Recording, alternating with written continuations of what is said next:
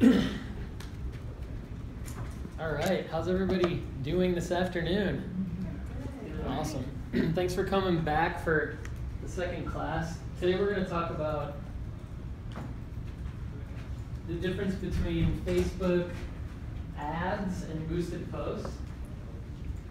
And mainly we're going to be in the Facebook Ads Manager. So a lot of the things I'll show you guys and we can work through open kind of workshop, but I'll lead you guys through how to deploy a bunch of different kinds of ads in Facebook and why you would choose to deploy an ad versus a boosted post, why you would choose a boosted post over an ad, why a different type, all the different types of ads in Ads Manager. As I started getting into this a couple years ago, I started realizing like, as I was deploying more and more ads for different clients, started realizing that okay, there's actually like 12 different kinds of ads, each with a different objective. And within each objective, there are even different ways within Facebook that you can serve the ad itself based on either clicks or impressions or something off of the tracking pixel, which we'll get into.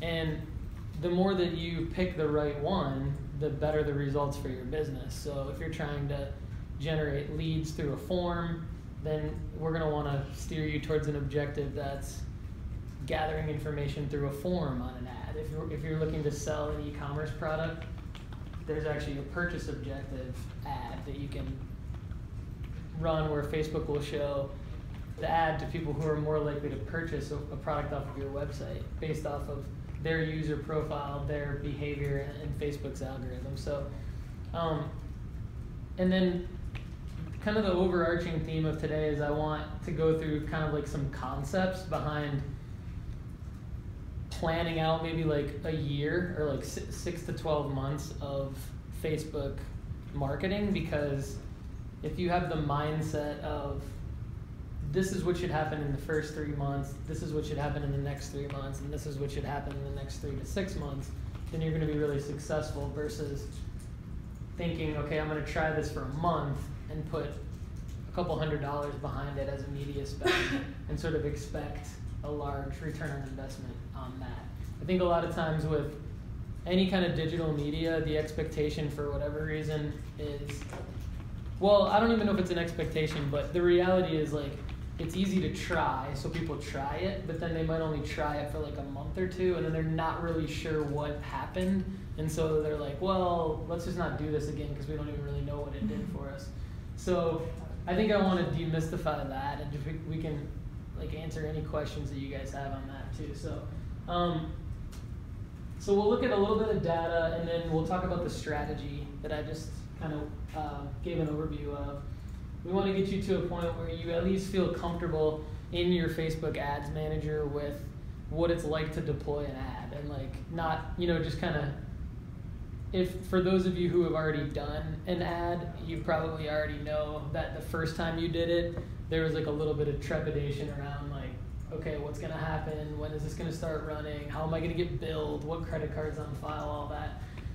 but once you actually run an ad and you start to get some of the results back, then that knowledge level kind of lets the fear go away and it gets to a point where you, you kind of get in control of it. So that's what I mean by like feel like a master is like at least get to the point where you feel comfortable with what you would be doing if you were to run a, a even like a page like campaign, which Kate and I will kind of talk a little bit about. Chris is going to help a little bit too because he's got a lot of experience with uh, Facebook marketing and and, business, and ads manager.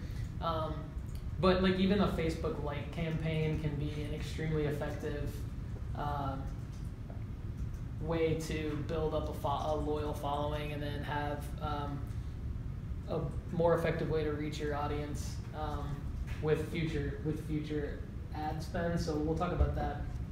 And then newsfeed ads. We'll talk about the Facebook tracking pixel and what that is because it, it, it's more than anything, it allows you to do more kinds of relevant ad placements to users who are really interested in your brand versus just users that are on Facebook. Um, so I'm not going to spend too much time on the, the data behind it, but there's a lot of numbers that justify why you would want to put money into Facebook as an advertising platform and other social media outlets as an advertising platform. And the main themes behind all of these numbers are basically that the amount of active users that are on each of the native platforms themselves, but also the amount of time that they spend and the, the attention that is on Facebook and Instagram and Twitter and LinkedIn and some of the other social media outlets. And we kind of go in order here. We go Facebook and Instagram first, mainly because of the, the, the volume of active users that are on each platform. I mean, it is kind of accurate to say everyone is on these platforms. Like there is no the data shows that no no person from any organization, B2B or B2C, can come in and say our audience isn't on Facebook or our audience isn't on Instagram because it's just not true. It's a, that's just an excuse for not wanting to do it. Um, because like literally the most niche audience, you can go into that insights tool that we kind of showed you guys um, last time, and you can go into what we'll, what I'll show you today is when you're actually even when you're building an ad, you can start to put audience um, interests and behavioral targeting into the ad and you'll see just how many people from different groups are actually on Facebook. And, uh, and then Instagram, the other reason why we're spending so much time on fa- Facebook Ads Manager is because you can deploy ads on it, not only on Instagram, but Instagram stories, swipe up ads, as well as just the entire Facebook audience network basically means like 60 to 80% of mobile apps that you would use that have like like last class we talked about Fonto. That's a good example. Every time I use Fonto, there's an ad that I see before and after I do my action, and the ad is deployed from Facebook Ads Manager. So it's very much like Google in that Google not only is the search engine results, but it's it includes just about everywhere else that you would go on the internet or in a mobile app as well. So that's that's what the audience Facebook audience network refers to. Um, LinkedIn, we don't get as much into LinkedIn today, but all of the concepts that I talk about with Facebook really apply to LinkedIn.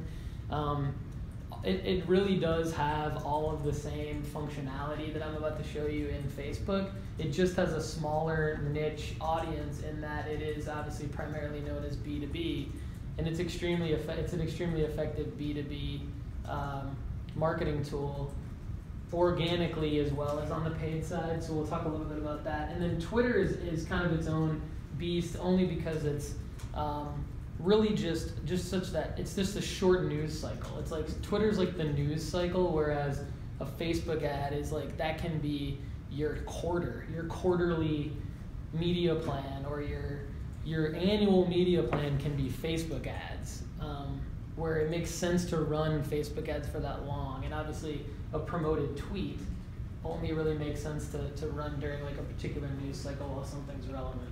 So when you get the deck um, in the link that we email out later, you'll get some more stats on just kind of like the average monthly, or excuse me, the average annual income of, of like LinkedIn, um, $75,000 annual uh, average uh, income on the LinkedIn user, different kind of different stats here. Um, Facebook users from the 40, uh, 50, 45 to 54 demographic spend more time on Facebook, represent 21% of the total time spent on the platform, more than any other age group. So the things that you read in headlines are the things that you hear. Um, when you get into the data, they're justified around, they're embellished in the headlines, right? So you start to hear things like, only my grandma is on Facebook and only 12 year olds are on Musically.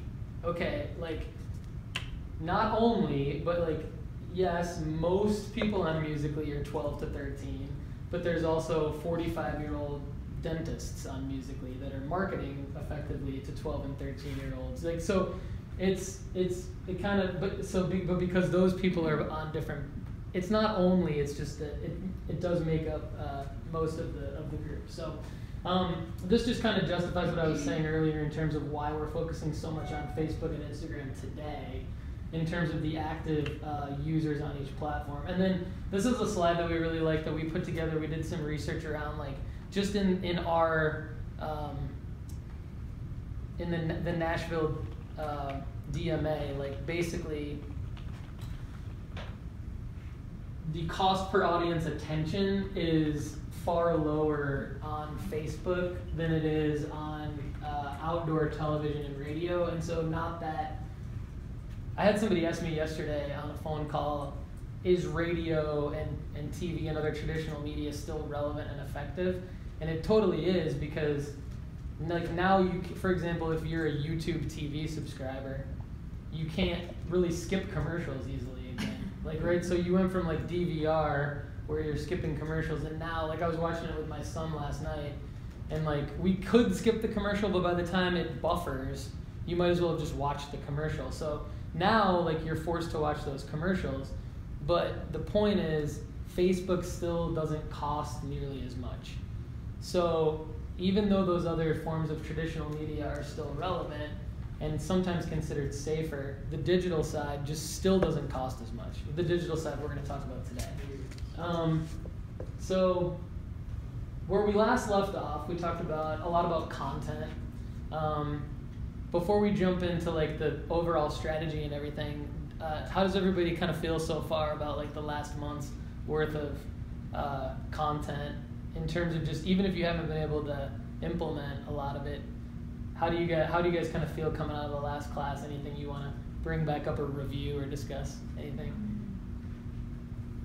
Well, in my situation, I just gotta figure out what to post, you know, where, you know, we're a business to business, and it's not something, not a service, it's more some products, so it's kind of, I'm trying to find something where, I don't know, trying to find something to post, original content, Yeah. so. That's what I want, but I mean, yeah, that definitely helped last month. Got your brain moving a little bit Yeah. just figuring out created what to track Instagram for work and, and all that stuff, I didn't have that. Yeah.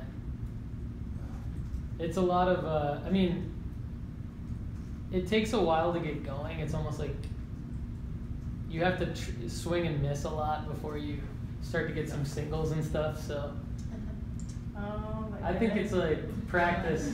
Softball, good, re- good one. Softball reference. I, I'm doing right now a business, like a, a B2B that I, that's with a medical company, you know, uh, these cards, and I'm going and I'm like scouring through all of the, they're trying targeting hospitals, so I'll go to the hospital target and figure out an old, old post that they made where they were like really innovative, because this company's like trying to be innovative. Okay. And then I'm just like, oh, and I created a hashtag that's like, um, you know, fellow innovators or medical innovation, you know, whatever. And so I'm kind of just repurposing their thing, and the marketing people on their end are really happy that I'm, you know, spinning their stuff up. Um, so it's stealing is, is okay, and then they're loving that you know you're tagging your business. There's a couple other people, other hospitals, so it's kind of it's working so far Mhm. until someone gets really angry. Yeah, I was probably not on the Instagram, and just created it as getting anybody to follow. Mhm. Yeah, like that's gonna happen. Yes, it takes a while. It does. That takes a while, and what'll happen is like you'll. So we say to use like ten or more hashtags in every single post. Oh, okay. But what happens is you'll get, you'll jump up. So if you're at two, you'll jump up to like fifteen, and then you'll be like off of a couple. You know, if you post like, let's say you post four more times this week, Okay. So you'll jump up to like 15 and you'll be feeling great. And then all of a sudden, like, you'll check it the next day and you'll be at like eight. Because what'll happen is uh, there's a lot of bots out there and there's a lot of follow unfollow.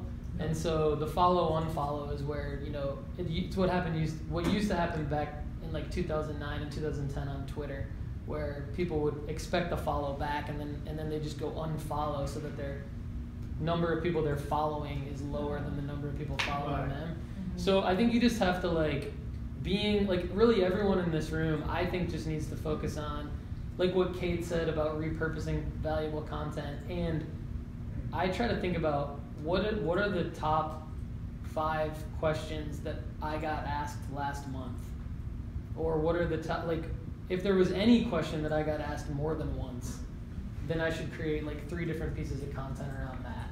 Just Like, uh, if, if you're familiar with this, not, we're doing, we've been doing constant contact for about the last year. I think it doesn't do much at all. I mean, you know, like one percent click rate. yeah. Is that even, I mean, Do you know much of that? People are even doing much with those or? For email, like email waste- marketing. Like a big waste of time to me. So you're you're sending out email, Yeah. email marketing, and what are you doing like about one Just a like our month? or- feature, and we started doing last couple of months, we have a segment, came up with Ask the Tape Doctor, a little guy for it and everything. And I'm like, that'd probably be better off to do that on, on Instagram or something, you know? Yeah, I would come up with I would do that on Instagram and on Facebook and on Yeah, LinkedIn since you're B2B. Because we used to pay this other company a couple thousand dollars a month to be on the registry, and it wasn't generating much, so, you know, now we gotta figure out where to put some of that money. So ask the tape doc like that's something you could do just organically. No, don't at first don't pay anyone anything or don't pay Mhm. any media fees at all to the platforms. Just come up with the content of what are the top what are 10 things that you could ask the tape doc and just start by coming up with them yourself since you're this you guys are the subject matter Mhm. experts and just do it's just a frequently asked questions page on your website just Okay. repurposing that into if you have 10 frequently asked questions repurposing that into 10 different posts and then um, Oh, okay. On the content side, like I think search like um, starting with the detail, like the details of what you know about your industry. Like for me, it would be like I would go and search hashtags like Google Analytics or um, you know some like the different tools that I use, like Google Tag Manager. So for you, it might be something that is a manufacturer of a particular type of tape or a new um, a new concept in the industry, and then researching a hashtag on Instagram around that, and um, going and following a few of those people and commenting on their posts. That's the other way. The other big way to build up, especially on Instagram, because it is hard to build like an, an Instagram following. It's a long, arduous process of doing it. But um, I'll steer this. I'll steal this one from my boy Gary Vee because I think he gives like practical advice every once in a while. And one thing that he said recently was, um, if you go and find ten posts that are relevant to your industry on Instagram every day. Now every day is a lot, but just conceptually, if you were to do it every day, and go and go comment like and leave an insightful comment find like find someone else's post that has like five or more comments if someone has a hundred or more comments even better because it's just more visibility for you but let's say tapes and tech or, or nashville fashion alliance for example goes out and comments on uh, leaves like an insightful two to three sentence comment on instagram on someone else's post or replying to someone else's comment and do that 10 times. Gary Vee says do do 90 comments, leaving your two cents every day, and then he, call, he calls it the dollar 80.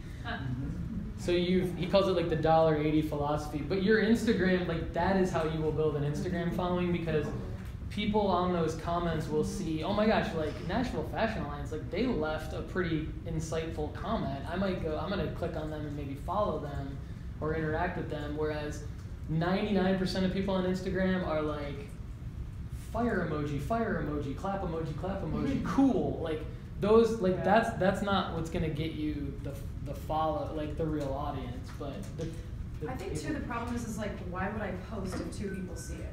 Like, you know, it's Yeah, I kind of haven't like, in a couple weeks. yeah, because it's a little bit discouraging, but remember, like, if you don't post, then you'll never get anyone to follow you. So you just have to keep going and then know that you'll maybe use some of those again too.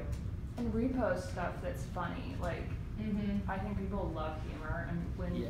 if you find something that you you know Totally. you run across when you're doing a hashtag search, you know, repost it, Totally. and people love that. I think it's funny. So that's great too. So there's the for those of you that don't know what Liz is talking about is there's an app called Repost for Instagram. It's free and you can um, It's not intuitive though. no, it's not intuitive. Basically, what happens is you like you click repost, nothing happens, but then, but then it goes into your photo, Yeah. your camera roll, and then it's in your camera roll, and then you can upload it to Instagram, and you can you can actually remove the little repost icon. Yeah.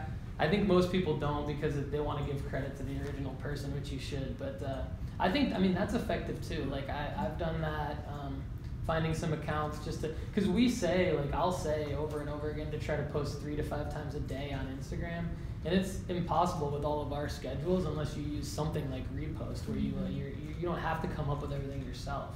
Um, so that's a good, and it's important to have this content conversation too before we jump right into the ads, right? Because, you know, you probably like I know Callahan's got some stuff happening right now where you like your mind might be in this particular place where we talk about these ads and you're like, oh, that makes sense with my plan, but we might have some others in the room that are just trying to figure out like what you know.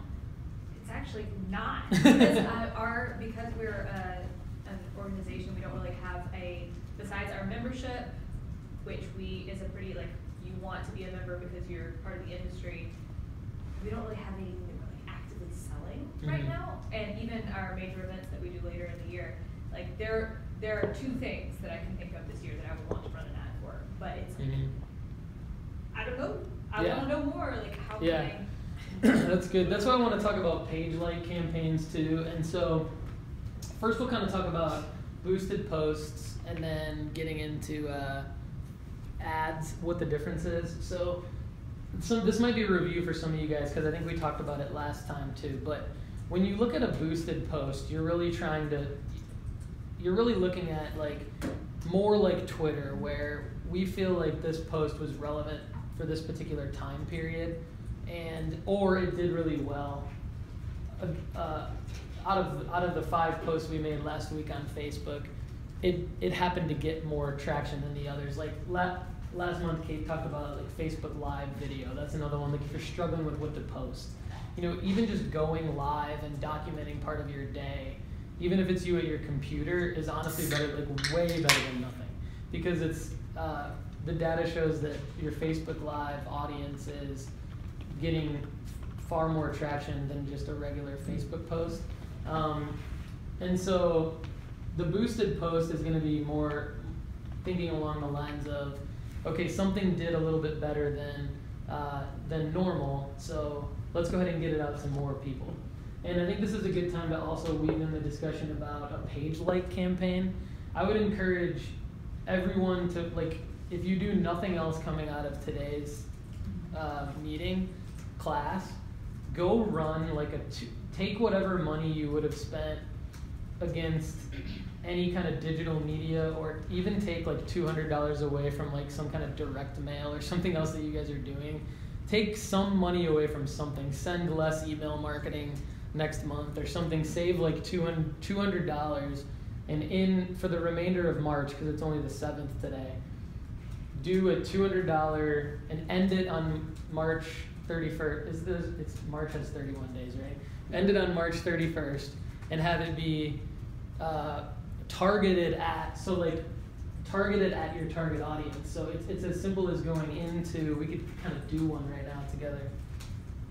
So this is what we've been doing.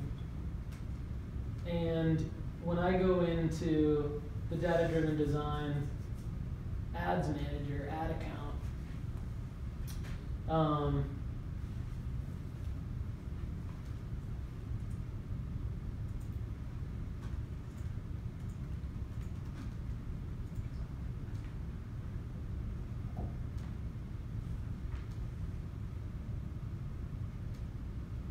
not fully loaded. Do you remember how much it cost per like when we did our page like campaign?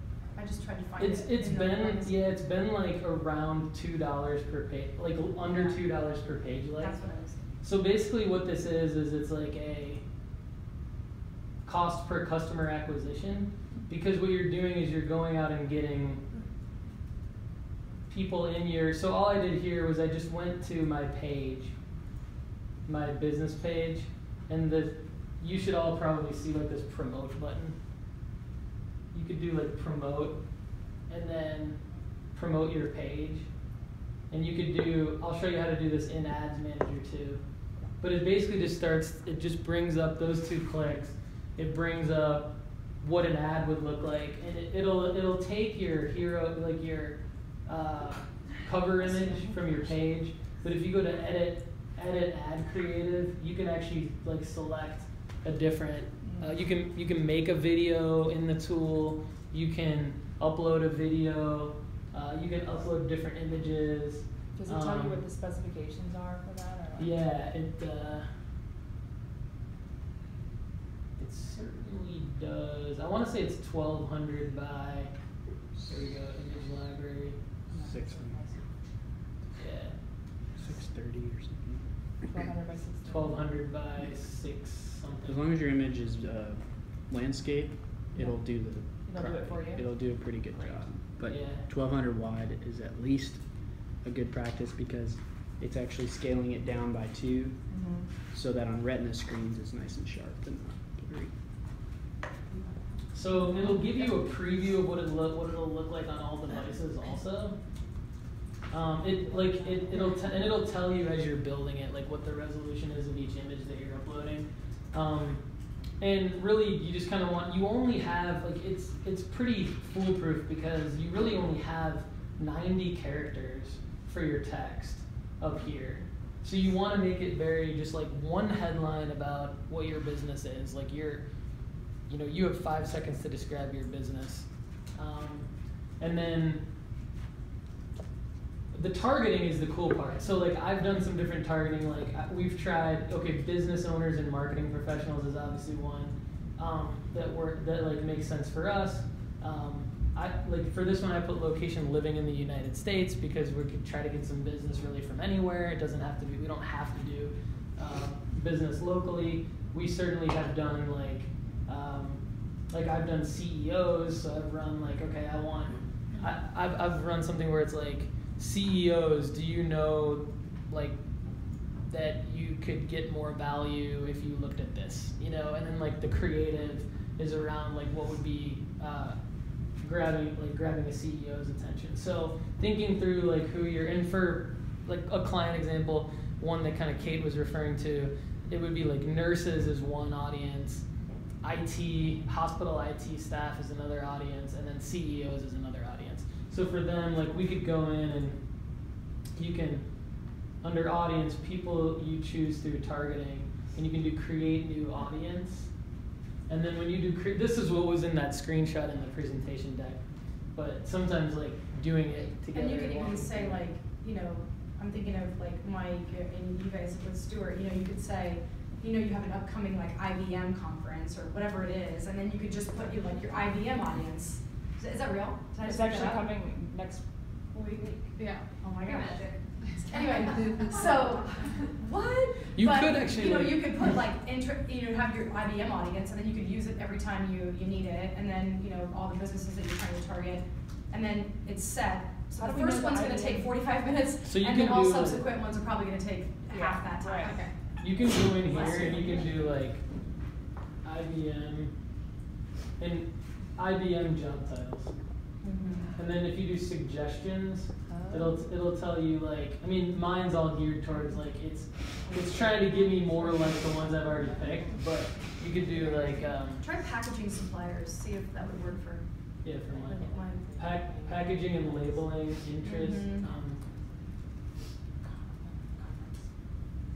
Yeah, the first one takes a long time. packaging and labeling interest So but if you keep doing sub- suggestions who would be like a uh, Michael is there like a number one client of yours that we could type in their business name in here and Oh, see you know, I if don't do much with sales, I think you're. or like a Probably, well. or competitor No. Um, well, it's another supplier, it's, um, Can Do National Tape.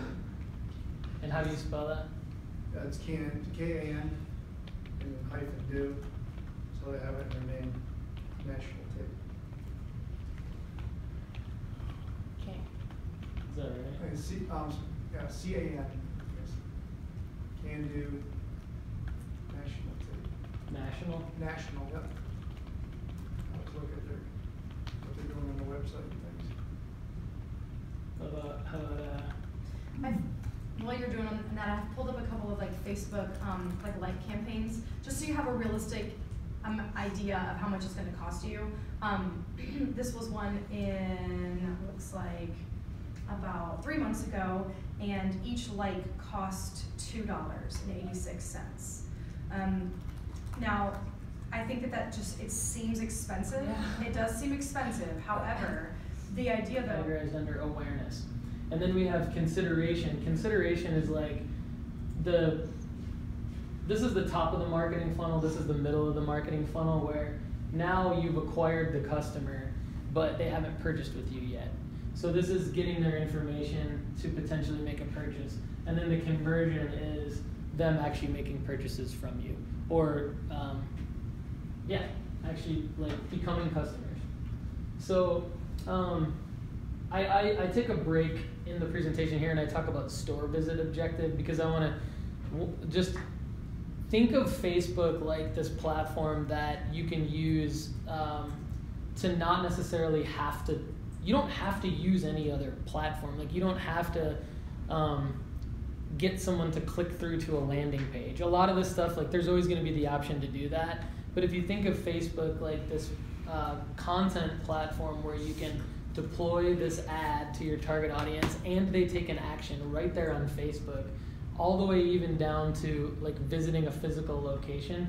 So one of your objectives can be um, under conversions, can be like if you're a re- if you have a retail location and you're trying to track like this could be relevant for let's say like more life or urgent care. So you might want to, if you guys ever run a Facebook ad, you might want to think like, how do we like how does Dr. Moore know what business you actually got off of the Facebook ad? You can even run something like the store visit objective, where it'll track down to did that Facebook user uh, enter your physical location, and it knows that based on the Facebook mobile app. So just the power of the platform to be able to track ROI is basically the, the point of this slide. So you're going to deploy this like any other ad that I'm going to show you how to do. It's just it's important to pick the right objective because that's the data you're going to get on the back end to be able to either justify it to yourself as like if you're the one managing your own budget or if you have um, you know you have to go get budget approvals and people and you, have checks and balances you're held accountable to someone to say uh, someone's asking you like why did you spend this money what did you actually get for this money um, it's very important to pick the right objective so um, the goal of uh, this is kind of like the objective guide. So it probably makes more sense to have it as like a resource for you to uh, review later. But the overall concept is just first you want to grow your audience. You want to re- get more reach and impressions. Second, you want to get more considerations off of those reach and impressions. People that are likely to become customers, but they're not customers yet. And then third, it's going to get you customers. So when I talk about like that nine to twelve months, that's basically it. First three months, build awareness. Next three months, build consideration. And the last three to six months and ongoing, hopefully you're building those actual conversions. So if you're patient, this is basically what it's going to look like. First six to nine months, zero revenue. Each subsequent month after the nine months, you're going to start to see like uh, two to three times the amount that you're spending on the platform for the ad. So, um, I mean, those of you who like, like Michael, you might have to, you you have like hard costs or supplier costs or things like that. So it's not as black and white as like if I'm selling a digital product and I'm spending a thousand dollars a month, and then I'm getting three thousand, I'm like, sweet, right? But like for you, it might be well, we need actually 5x to make a profit off of that. something Yeah, tracking, no, new calls, they call it, even though a lot of it's emails now, because they used to get a lot of them from this other company, but, um, even the last year, we weren't getting much for them, finally, I was like, we need to, we were getting more inquiries straight from Google than we were Yeah. from this company. So you're basically buying email email addresses from another company. Is that what you're saying No, you're doing? Or No, no, we just were, I just went and got it, so we, I didn't even do Google AdWords or anything, I just retweaked everything so we come up in the search. Oh, okay, that's what was working. But what was this? What were you saying that wasn't working? That, uh, this other company called Hughes, um, what's it called? I can't remember the name of it. Thomas Register. They used to have books years ago Ah. for industry and then you'd pay, like, t- I don't know, it's like twenty-one hundred dollars a month to be on the listing. Oh, okay. And generate leads and we got, so we were getting like, you know, one a month. It doesn't matter, we track them whether they're closed calls or not, just that Yeah. we're getting. Of course, my boss is old school, he's like, well, the phones aren't ringing. I said, yes, but the emails are going nuts. Okay. Oh, Yeah. that's great. So this is my little like phased plan expectation, uh, where you- you're having fun at first, you're being very very patient second, and then you're basically happy and converting third, and and knowing that the way that you're the data that you're going to be looking at in your ads manager is that at first you're going to be seeing huge relatively huge impressions and reach numbers that's going to be what you're quantifying things to whoever you're held accountable to. Then you're going to be seeing more web traffic, which is more exciting because it gets people. Because I mean, we we hear this more than anybody because we work with clients on this. So every client's always asking us. In mm-hmm. phase one, they're saying, "Well, that's great that you're getting the awareness, but then what about the the web traffic?" And then so it's it's then the web traffic comes, and then the conversions come, because and you're knowing that by phase three, you're actually not hitting that many people. You're only hitting the people that are really likely to convert. Your money's being spent off of ads that are being deployed off of the data from the tracking pixel. So don't get confused or overwhelmed by the tracking pixel. It's basically put in place so that there can be a phase three. Um, and, and, and that's it's a tool so that that's why phase three works because every ad that you're running in phase three you're running to people who already have a high awareness level brand loyalty they're going to be repeat customers and you're you're reminding them about uh, why they need to purchase from you at that given point in time so um, and then there's there's gonna be like the other part of the expectations is like there's gonna be a lot of stuff that just doesn't work. It's just not gonna work as well as other stuff.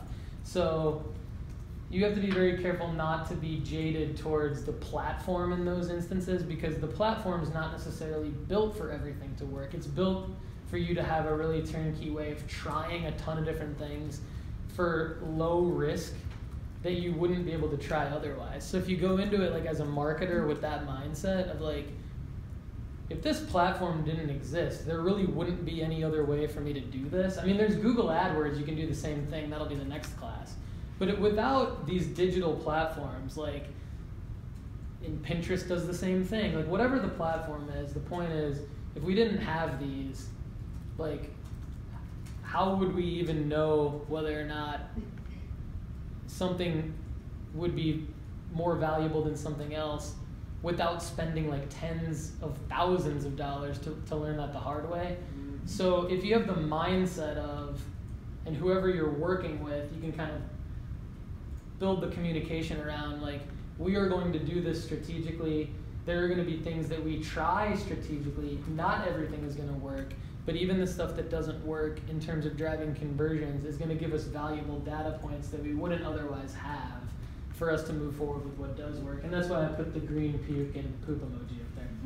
So um, then measuring your goals. So so this is like more detail. I won't read this grid to you, but this can be kind of a reference grid for like if you're walking into a meeting. I tried to put some stuff in here around like what would be the reasonable expectation for each phase because you'll like i get asked that question all the time you, you guys will get asked that question anyone spending more than like ten dollars on anything is gonna wonder like what am I getting back for that?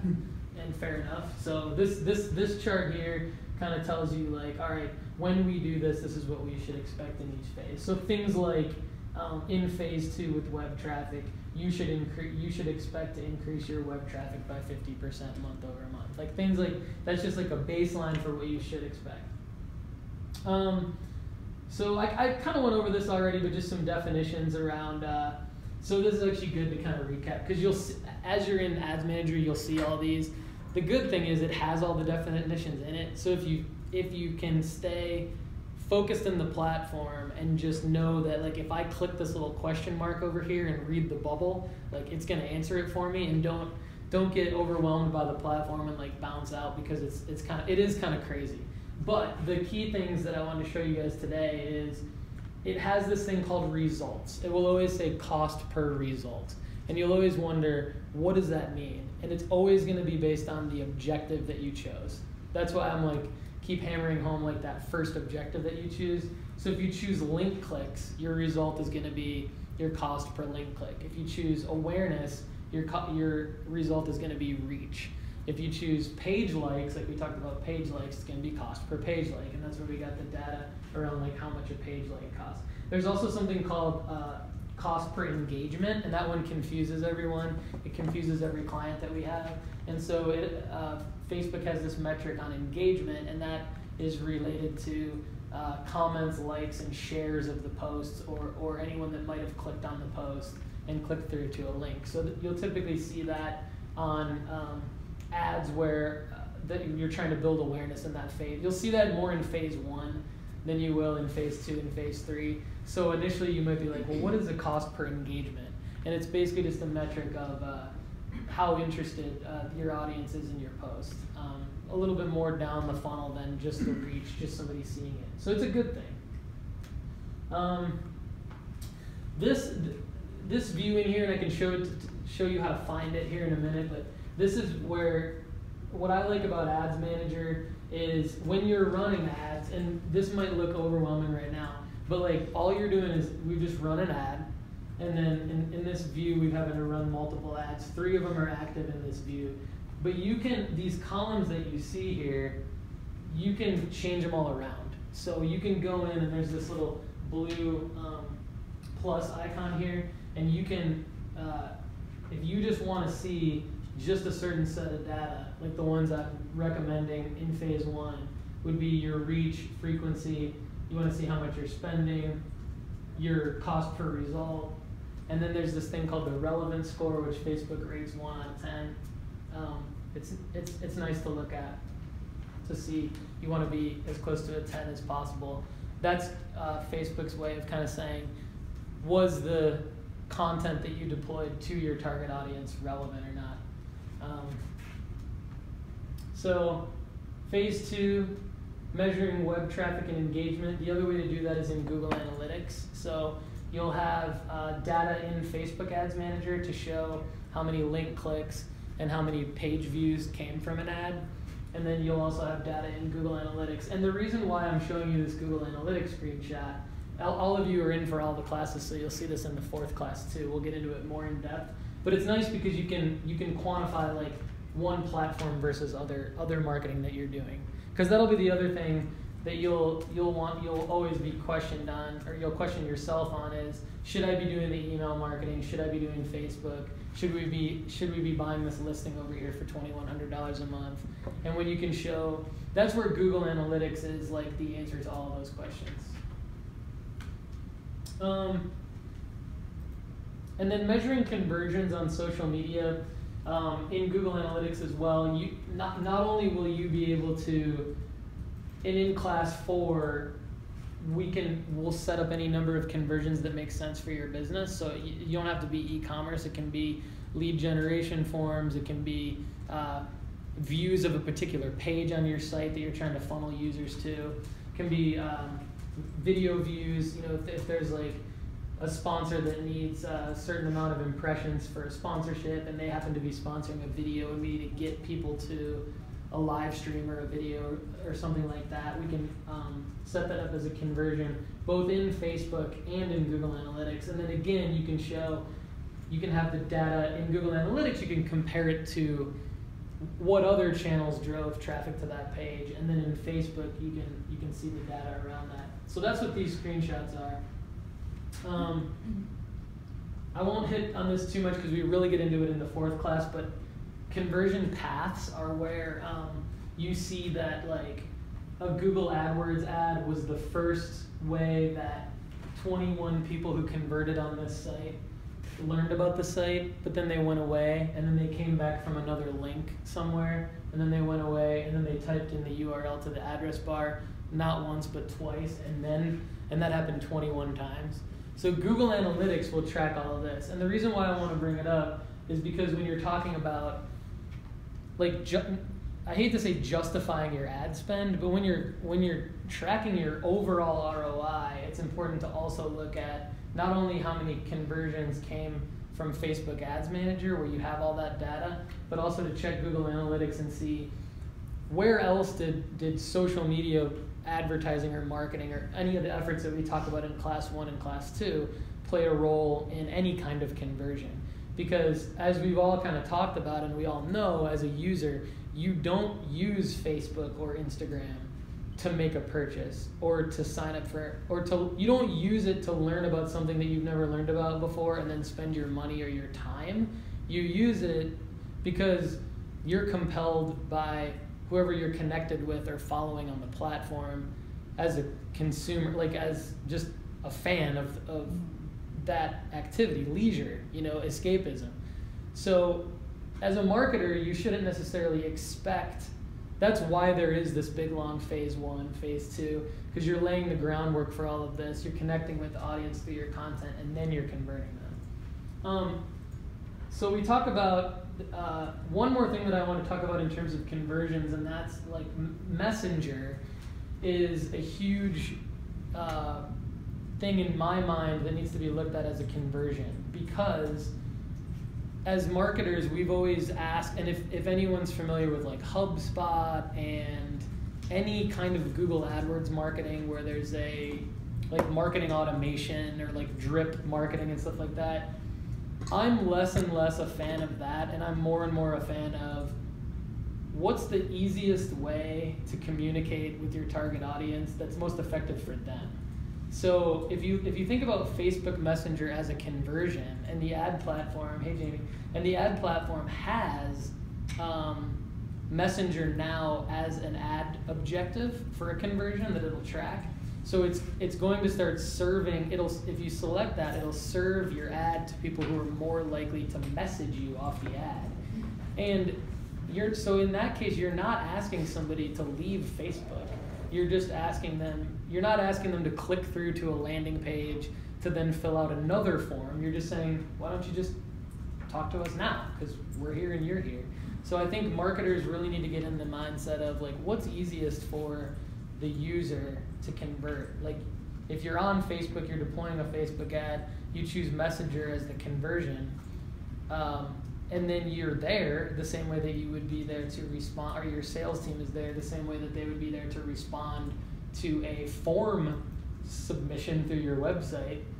You're going to convert more off of that messenger ad than you are off of an ad that says, "Hey, let's click through to our website." So, um, all right. Um, on the strategy side, so we're going to go through like, yeah. I just had a quick question. I was wondering, like, in your opinion, do you feel um, like maybe the awareness column is kind of irrelevant? Like, instead of just raising awareness, why wouldn't you actually have them do an action? Because, and I'm just like wondering because I think maybe I can't, maybe I did like one brand awareness campaign.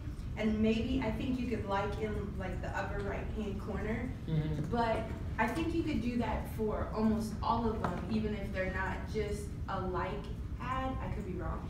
But instead of like, for instance, if you did like the National Fashion Alliance, right? Instead of aware, raising awareness, wouldn't it be better to have them fill out a form for member access instead of, like, I don't like every time I see that, I'm always like, what is that? What's Yeah, why would I use that? yeah, Like, like yeah. why would I do that instead of driving action, even if the action is just to drive it to the website? But then I'm like, well, maybe I'm Yeah. just being Well- silly and I don't really know what the purpose I is. that's a think, good question. and the only time that I've used it is like in conjunction with something else. So I'm like picturing the funnel being really big, you know, and we're like out here. And I think you just get a lot more post reach. The, the reach is so much further. They serve it up to more people. Mhm. Where when you have it like drilled down to the more specific stuff, you'll notice that the numbers are lower. Mhm. So Yeah. I think the, yeah, you're not getting like the actual, you know, the link click back to your website, or you're not getting the page like, or you're not getting the, you know, whatever call to action you're watching, them- wanting to watch a video, but more people see it. So it's kind of, what do you, what do you want to do? You know, like if Yeah. you wanna use a general, super, super general ad, um, a lot of eyeballs get to see it. So maybe that's something to think about. that's exactly it. It's uh, it's the cost per that. Like it's so if you select uh, an action where your objective is to have them do like a link click or a page view. There's uh, under the traffic objective. There's two different ways to do traffic. There's a link click and a tra- and a landing page view. And so if you were to do one of those um, and spend say five hundred dollars against that versus five hundred dollars against awareness or reach, um, you would pay more. You would pay the same amount of money, and you would get far less reach and awareness off of the second objective than you would off of the objective. So it's if you already have like if you're a, a brand that's extremely well known in your like if you've clearly penetrated your geographic and your interest area and you have high brand awareness already, then I would say it totally makes sense to just go directly to a um, more mid funnel objective, like con- consideration, basically, like what you're talking about. So there's definitely validity to what you're saying. If you're starting from ground zero or you've never done Facebook ads before and you've never and you haven't really done like really haven't done that much marketing um, comparatively to where like you aspire to be, then I would definitely do. You're gonna get more bang for your buck out of like a real awareness phase. The reason why is because you're gonna build more data around who's interacting with your ad, so that when you get to phase two and phase three, you're hitting people who have more awareness of your. You're hitting more people who have more awareness of your product and service for less money. It's really the less money part. Yeah, the less money, I think, too, and, and I'll give you a number. So for fifty-eight dollars, twenty, almost twenty-eight thousand people saw that, that piece of content. Where for thirty dollars, you know, fourteen people liked it. So, do you wanna like, you know, one million times, you know, up your reach and, and how many eyeballs have seen it, especially if it's something really graphically neat? you know, it, it, it resonates. And if you see it three and four times, it's like, man, you know, it's this beautiful image that we're seeing over and over again, and we're equating it with, with you. So I know it's kind of, you, you, the number doesn't sound good because it's like, that's how many people saw it, but the number is so high Right, that it yeah. justifies it, I guess. I just I always hope that wondered, I was like, what Yeah. would you do? I No, thought the same thing, and I was like, why would I spend? I money here? wondered until I actually started doing it mm-hmm. Yeah. a lot and seeing that what Kate's saying. But yeah, the client loves to hear that like, you know, thirty-four thousand people saw that. It's always good to question it. It's Mhm. always good to question it, even in phase. Like I mean, even when you're in phase three and you're converting and you're like, um, you know, maybe you're still running kind of a, a little bit of other kinds of ads. I mean, it's always good to question like, is the and that's the beautiful thing about digital media is you can say I want to spend fifty dollars a day or I want to spend five dollars a day or whatever for X amount of time. You don't. You're not committing to that. Like you can you can see this is not working as well as this other thing, and I'm going to pause this and put that money that I had allocated over here. So I think it's a, I think it's good to commit to the, the strategy of a 12 a 9 to 12 month plan where for the first where really for the entire time you're doing some kind of page like campaign because that's going to be like your baseline of i'm constantly going out and getting a dozen or so new uh, cus- like likely customers because of the targeting that I put into my page like campaign every week or so, depending on how much you're spending. And so that builds up over time, kind of like interest in your in your uh, money market account or whatever.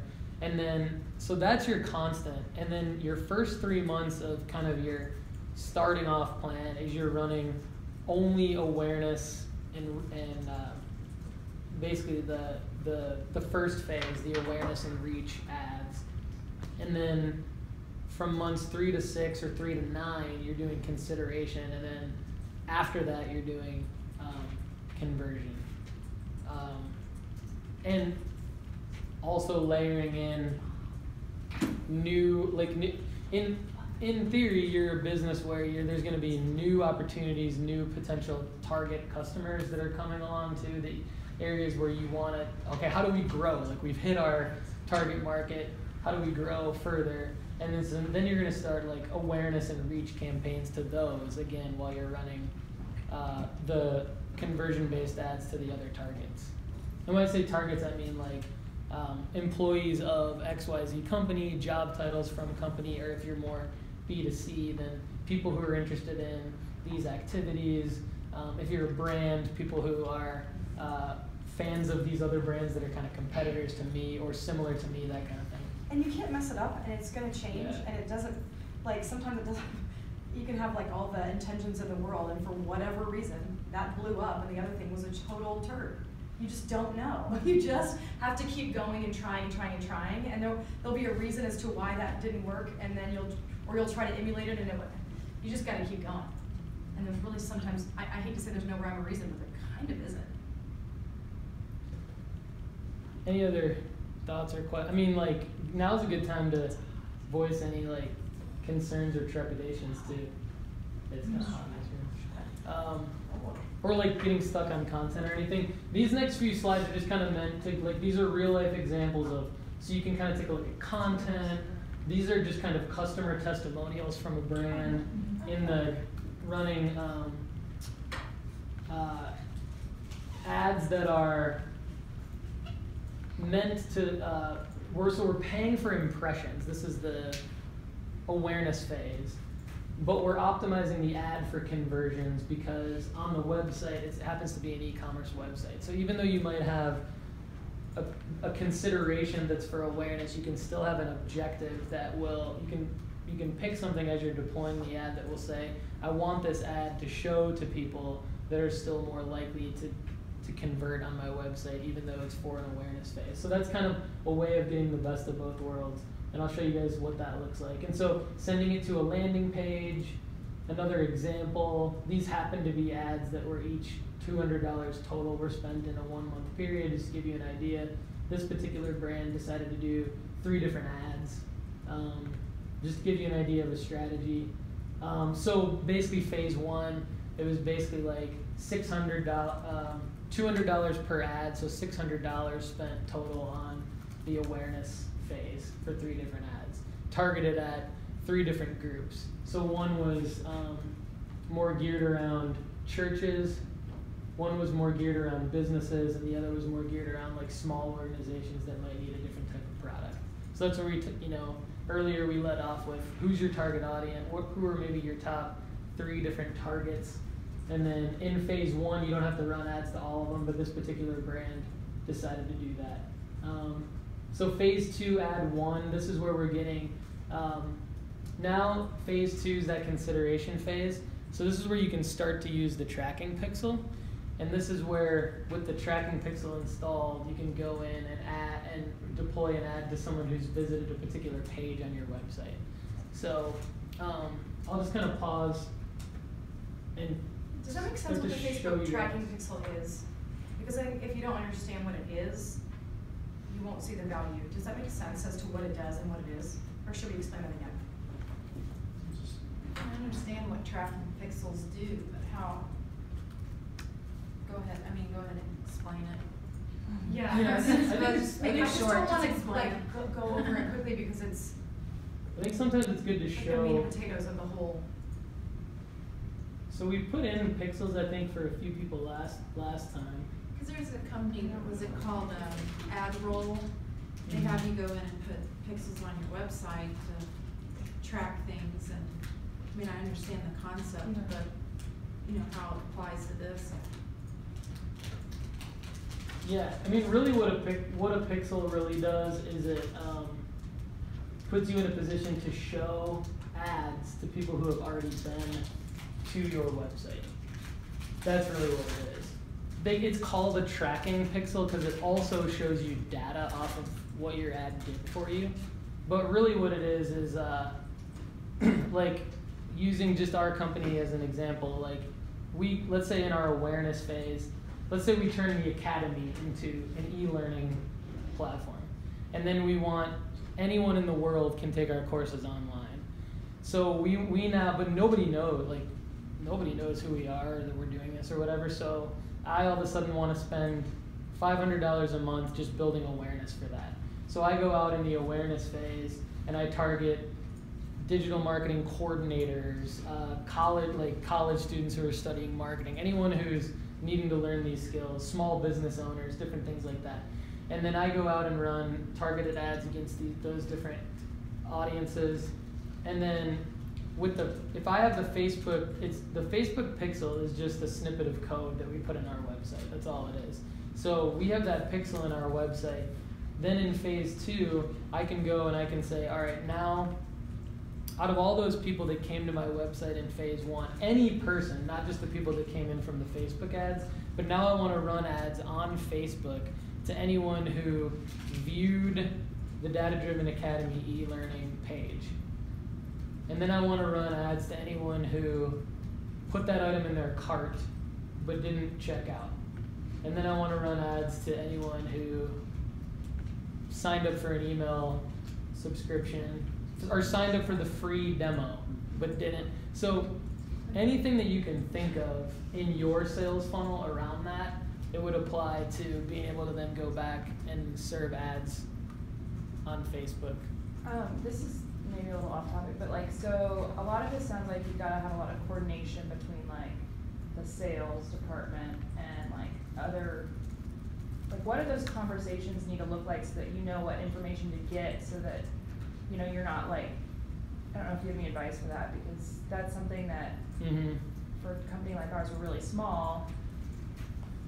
We just don't have, they don't, they wouldn't even know what to, information to provide us with, and, and Yeah. so how does, how do those conversations need to look, like, from a? I mean, I see it as an opportunity for anyone in your position to be able to like be the the person that educates their company that this exists. First of all, like if I were you, I'd go in and I'd be like, "Hey guys, um, whether or not we're going to do any of this, I just want to plant the seed that all of this exists within a platform that's free for us to use and it's super inexpensive to pay for media. And we get all this data off of it to see whether or not it works. So, whether or not we're going to do it, if anyone is interested to learn about the capabilities of this, let me explain it to you. And that's where I would start. Uh, that's where I'd start the conversation. Just to say, like, as consumers, you have seen this kind of marketing and you have converted off. And we have the capability of doing it. And to say, but like, to say to the salespeople, or the sales guy. Yeah. Like, here's what I need from you, um, in order to really do this effectively. Um, you know, don't leave me in the dark when you're, when you have these proposals out there, Mm-hmm. or if you're struggling with one, and you don't know how to reach them. Like, those types of things are helpful for us to know, because, one, like, you do have Yeah. to educate, and then you also have to go in there and say, specifics, what do I need from you? So I think up a system with one of our, um, with one of our clients that every time they have the sales meeting and they have their list of leads, that we're, that I'm involved in the list of leads. Okay. So now that I have it, now I'm able to go target those folks too, and so it's like, you know, you're hitting them from all sides. But yeah, getting, getting that literally be like some turnkey way that you guys get, you know, what's going on with the, in the proposal phase somehow looped in is, is awesome to, to be able to, you know, go, come in from every angle. Yeah. Sounds good to watch about. And yeah, that's a great example for sure. And I was gonna say, we've Because also they don't care about you until like you help them make the sale. Right. And then like, oh wait, wow, you like me now? That's funny. we've also had success in cases where the um, the client, like the the leadership at the organization, knows what the objectives, what the ob- not objective, like the um, objections have been from prospective clients. So v- very many times in B two B, you know what the objections are. You know the reasons why people don't go with you, because um, like you've got like and your sales team knows that better than anyone. They know like they have all the anecdotal data points around why Stewart in your case wasn't chosen, or maybe why you were chosen. So I would ask for that too. Not only the lead list, but also like what are what are the top objections? Like how are you gathering information on why Stewart is or isn't winning the bids that we're getting that we're putting out there? Because then that's what you create your content around. Yeah. So you take the, the top 10 or the top three objections as to why people weed out Stewart from their, their proposal process, and then you create content around why you are that solution for them. Mm-hmm. And then you deploy that to those, to the people that Kate's, that the lead list that Kate's talking about. And um, that, planting that seed is going to be where it'll pay off in the long run, and then you'll know from the data in the Facebook Yeah. ads manager how that how the digital component it's like it's it's not it's t- to me it's taking like oh well our business is just word of mouth and it's just offline but it's using the digital tool to be able to like totally enhance and like slay the game Yeah. of overall say like sales and marketing Yeah. because that's where people are. Um, so you're not hitting chief operating officer, chief finance officer when he or she is at home scrolling through their Facebook or Instagram feed. But you're hitting Sally, who's the CFO, who happens to be the CFO at this company that has to make a big decision in the next week. It's the same person, Yeah. and then just and so if your messaging is around their objection or solving their problem, then that's where it can really work. So, is that like Yeah, no. practical enough for? I mean, or is it I like think it comes is that down what to- you were thinking of or not? Yeah, no, it is. It just comes down to internal processes and Yeah. like getting everybody. One, you gotta educate them, which is always pain, and then and, t- and like connecting the dots, and then getting them to understand why they need to communicate certain, you know, like we just found out like a week before he left for that trade show that he was going to a trade show, and it's like, well, if we had known that, Oh yeah. we I could think have. for us, it might be kind of like what Kate said, how we just need to do it ourselves without involving them in the first like three month stage when we're doing like the lights campaign, because that doesn't need to involve them. Right. Um, and then like we should just Yeah. mess with it and kind of like get our ground. rules. Understand it. Yeah. Mhm. Once But we they- get to the second stage, we can say, oh, we've been doing Get this. targeted. Show them why it makes some money. Yeah. Money We've already matters. acquired you. Yeah. I think you gotta kind of keep them in the loop though. Like Yeah. if you're like if you're doing something where you're like do like putting brand awareness out there. Yeah. They Like wanna know maybe it. if you're like wondering this, I would have him maybe explain to you how his process works. Like let you know, go from that perspective, and then from there create an ad and say, hey, you know, from understanding the way your process works, we're gonna create an ad, and then that will hopefully generate some leads, and when the leads come through, maybe follow back up with him. Like I feel like, and maybe I do it wrong, but like when I do the lead generation forms, I have to follow up, like I'll pull down the forms every day and I'll send it to whoever's going to um, contact these individuals, but then I keep a spreadsheet. And so then I keep notes on like, you know, did you call these people? Because, so I have them submit like their name, their email, their number. Did you call them? You know, what was the reaction? Did you book a consultation? Did they pay for a course? Um, in the spreadsheet, I keep like how much That's a good idea. um, uh, like potentially a program could cost depending on, like one of the companies I do the ads for, it's like a financial institution. So each of the courses have different, um, costs, so then I keep that in a Yeah. column as like potential earning. So you could kind of like let him know, like if you close this lead, this is what the potential Yeah. earning is, and then, you Yeah. know, like, it's, I do that every day, but it just seems like if you're not, if you're not controlling and keeping up with the leads and following up back with people, people aren't gonna follow with you. And I mm-hmm. feel like in marketing, it's kind of like when the dollars are spent, you know, just like you said, it's like unless you Yeah. bring in money, it's kind of like, well, what are you doing Right. out here, you know? Because brand awareness is great. I do think that's it, but it doesn't necessarily show Yeah. measurable. Mm-hmm. Yeah. Yeah. You have to like It's, it's not the, it's not what they wanna see, however, if you do it in tandem with the other item, Right. it's gonna Right, boost yeah. the other thing. And, and you, they don't know what they're talking, so you just do you, and then Yeah. not just explain to them. But just follow what up they don't full understand. circle and keep a spreadsheet of everything. Yeah, that's what I was gonna say. I think you guys are totally onto something like you Yeah. said, uh, where like you do that, you you bring to the table like, hey, we've increased Yeah. our pa- we we basically acquired like a thousand new potential customers through our digital media on Facebook in the last six months, and now we feel like we're ready to educate you guys on what else is possible with this audience, how to further engage them. Let's talk about what you've got going on. We'll tell you what our possibilities are, and then. If you follow up with these leads, you could potentially earn this Yeah. much. You know. I don't think they think that they need you, They maybe, don't. and no, so they don't think about it at all. It's like they're siloed into their Mhm. sales funnel, and then they don't. They are not connecting that we could be.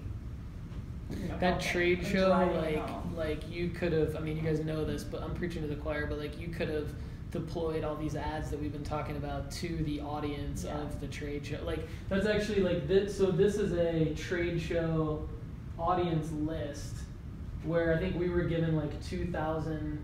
We were given 2,000 email addresses from our client of people who were coming to this trade show. 750 of them matched Facebook profiles. So, um, so now what that means is like 750 of those email addresses from that list that had 2,000 roughly, we can now deploy Facebook ads to those though to just those 750 people that we know are coming to the trade show about our client's brand being there, strictly with messaging around what our booth number is, what you can do to register Yeah. to, to get information at our booth, all of that. And we can create a lookalike if we know that there's 50,000 people coming to the trade show for, for whatever reason, or we know that the audience of people who wishes they could go to the trade show is 50,000, we can create a look. This is all with just like two clicks. Yeah. create a lookalike audience, which is this, off of the fewer than 1,000 of mm-hmm. 2.1 million in this case, and then we can deploy different messaging to that audience. So. That's the tr- the trade show is the lowest hanging fruit I for know. us to kill for you guys to kill it. If only with you know that it's coming. Right, funny, you just need to know that it's coming and build it into the. You just mentioned trade show. I had two different conversations this week. They're both sponsors, pretty big sponsors. One said, could you get your social media person on here and let's talk about how to, you know, make this happen. The other one said, uh, we're not gonna sponsor you anymore because they basically figured out Facebook ads and their reach and the money that, the least amount of money they can spend and get the maximum reach. And they even said we quit going to trade shows because we figured out how we can reach all of those people without sending, you know, ten people, cause they would set up this huge trade show booth. Yeah. And they would send ten people and spend all that money, and they figured that out, and they just, and then, Interesting. and then they're, You pay for your own Ads. registration and you get that entire email list. Yeah. and Get those the- ads will tell them if you wanna see this product in person, here it is, It's- you can go right down the street and here it is. and So- now you can even. Uh, that's really interesting. It is, because I gained one sponsor because they don't know what they're doing with this, and I lost the other one because they did. So, you know, I'm just like, so now do I search for people that don't know what, you know? Yeah. But most of the companies. Target people who are. Most of the companies I work with are big enough to have, you know, the, this knowledge and this group of people to, so I don't, yeah. then it's back to television. That's super interesting. You know, Yeah. and Netflix, and you know, now you gotta, it's another whole story. but OTT I just- stuff. Yeah. So Jamie, like for you, I'm thinking like my personal example are like my shoes because like I go to Nike.com and then like put all these items into my cart all the time and then I don't always buy all the shoes, but then I get all the ads reminding me to buy the shoes that I have in my cart. So like for you with your e-commerce store and stuff, I mean, this what we're talking about is like when the Facebook tracking pixels on your site, which is easy to put in there. Um, if you're ever running any kind of ads, like you can target ads to people that you know have put a specific item in their cart or viewed a specific product, but maybe haven't checked out yet or added it to their. And you can send them an ad that's relevant to like maybe like a photo of like what their home could look like, what a home looks like with that product in it, or you know something where they like. I mean, for me, like Nike just literally serves up the shoes that were in my Sometimes cart. when I'm looking at something Yeah. online, I start getting all these ads. Yeah. And you're like, how do they know my brand? Yeah. yeah. Mm-hmm. Do they hear what I'm talking about? Yeah. So that actually like Sometimes ju- it's so creepy. Yeah. to do that literally it's just in Facebook. So all I did was I'm in Facebook Ads Manager and I went to audience under all tools here and then audiences. And then that's how I got to here. And then if I just do create audience, I'll just kind of give you guys an overview. So the one I was just telling you about is if you go custom audience and you do website traffic, so this is a website that has the Facebook tracking pixel installed, you can do something like I'm going to create an audience. Once you create the audience, then when you're creating an ad, when you're creating the ad, it allows you to select this audience that you now have saved. So once you add, like, we're building the audience, you can say all website visitors in the last 30 days, 90 days, 120 days. Um, you can do people who visited a specific web page, so that's where you can type in the URL. So this is as simple as like the uh, whiskey stones or something like that. Like you could say you could put like that URL in here, and then you can serve an ad of like a video of people pouring drinks, you know, using the whiskey stones instead of ice cubes, and you can serve that ad up to the people who viewed that page, right? So it's super relevant, and like fifty dollar a fifty dollar ad is going like to um, 500 people who viewed that page in the last 30 days, and then maybe you get, you know, hopefully you're. I think you're more like the data kind of shows. So this is phase three, right? So like phase phase two, the end of phase two and into phase three, the data is showing that like that's where you're getting that th- two to three, hopefully more times the return on ad spend. So you spend 50 bucks on an ad, hopefully you get like 150 dollars worth of orders off of those whiskey stones or something like that. And hopefully the whiskey stones don't cost you that much. you know, Yeah. you gotta. There's your hard costs and all that you have to factor in. But in terms of the advertising side, that the, the different things that are capable. That's just one example. She's not a drunk, she sells them. Let's, let's make that very clear, because Paul's like, you know, you're a whiskey. It's the worst. I was thinking of you. It's the worst example of a product on her store. That is like totally. Clear her store, like here. her store, has so many beautiful home goods and fashion. And like, I I picked was whiskey. Well, whiskey who has the problem after all? Um, visitors by time spent on your page, and then Chris, do you want to jump up and maybe talk more about because uh, like the other things like custom things you can do off the Pixel, Yeah. different things like that. You don't have to jump up. You can Okay. stay seated if you want. Yeah, so the the basic use of Pixel, like Paul was saying, is um, tracking people who visit your site, but with a little bit of um, kind of adjustment, you can track other actions. So the Pixel can create audiences for you based on a particular action, such as someone who filled out a form, or somebody who visited a very specific URL. Even if it's really long, you can plug that in or um, you can create your own actions. So if you have, you know, maybe it's not a form, but maybe it's a button on your site that links somewhere else, you can track who has clicked that button. So you can dive in very specifically to, to kind of pick your goals and find Facebook users who have kind of gone through that little funnel. And then maybe you make, like last time I made a, an audience with somebody who um, they wanted to know who hit a specific contact page. And so we found the URL, plugged it in, created a special action on the pixel, um, and now she has an audience of people who have gone multiple pages into the website. And that audience continues to refresh every day, and it's always up to date. And you can set time limits, so the typical um, audience is the last 30 days. Anybody who has visited a page or completed an action in 30 days, but you can dive in further, say 15 days or just in the last 24 hours. Just depends on your goals and, and what your audience does on your website.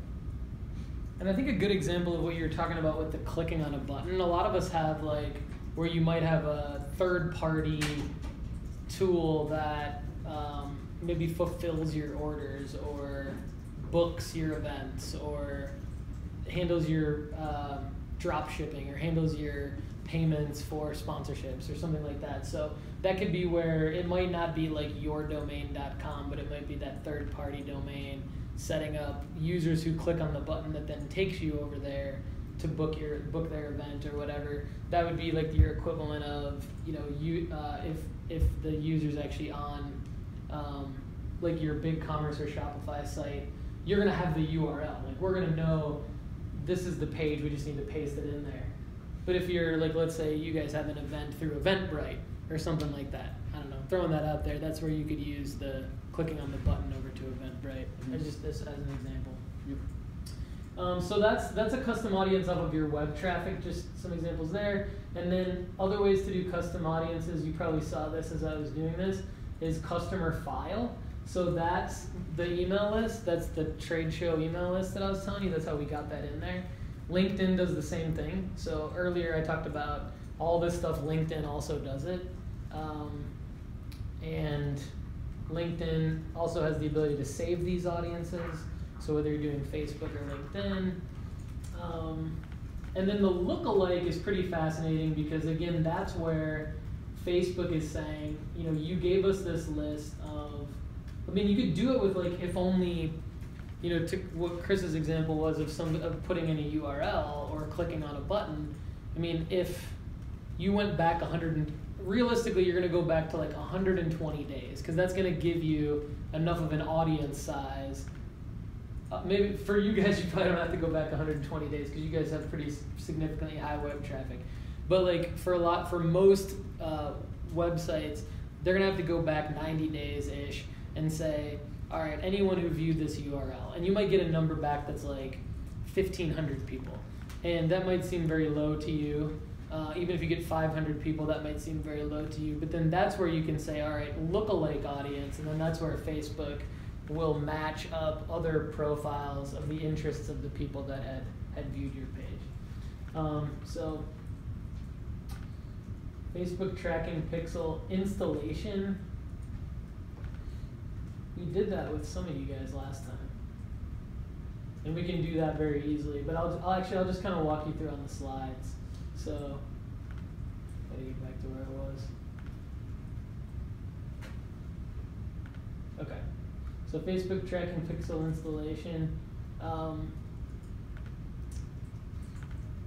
it's basically going to be a step-by-step process where you go into your business manager account under pixels create it'll there'll be a button that says create a new pixel it'll give you the opportunity to either uh, i always say like email it to yourself because you email it to yourself and then you can forward it to your web developer or somebody to put it in there for you um, but it'll basically just gives you this code and then what chris was talking about is uh, we can kind of modify, like any web developer can kind of modify this code and put different events in it. But really, all you need to do is just put this code into your website, and you're gonna be able to do all the things that I just showed you how to do. Um, and then we'll kind of spend a little bit of time on what these ads sort of look like to give you guys an idea, hopefully a little bit of comfort level of what it's like to run an ad.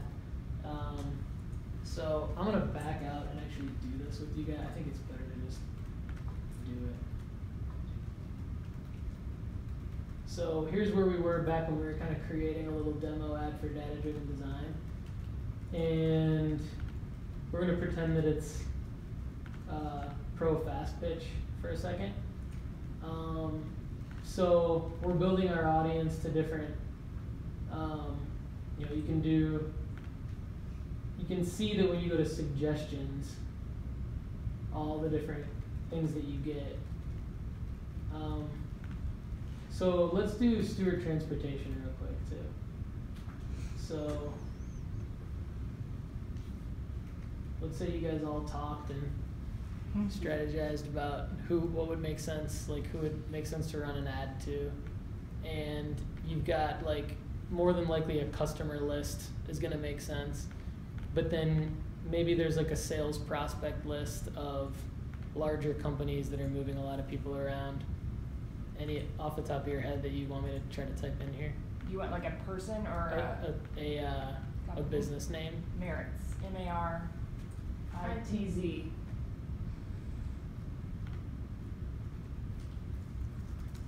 What does it say? I'm sorry, I can't read that. M A R I T Z. Uh, what's the what did it populate it? Oh, is that a name? It's a person's name, so that's Maritz Travel? Maritz Travel. I don't know. Yeah, that's what's the official name. Maybe they don't exist. it. Okay, well, George P. that was a Johnson. dud. Sorry. No, that's fine. George P. Johnson.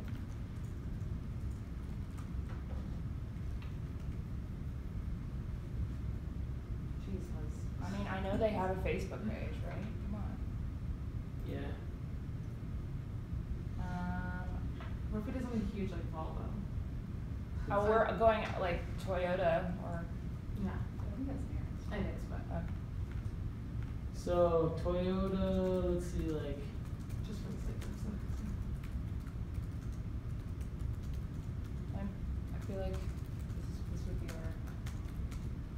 I think good stuff. Mm-hmm. auto shows. Uh, another one would be, um, like, you could, you could do PCMA, professional. Why does underwater basket weaving come up? Because I was showing that it's like super obscure. I know, but we're trying to find ones that like should have a. I didn't, I didn't like set it and do it like I that. don't know. I don't know why George P. Johnson didn't come up, Yeah. But. I don't know. All right. It's a What kind of company is George P. Johnson? It, there, it's at experience J or GP J. Um, That's there and like advertising, but primarily for auto. Okay. It's just experience marketing. So you could do Ah. experience marketing. And it, pick anything that comes up from that. Business marketing behaviors. Come on, suggestions. Don't fail me here. Auto shows, exhibition. I'm gonna just put some of these in. Yeah, here 'cause that's it- fine. It starts to get better. It starts to like see what you're putting in. Yeah, these. Uh.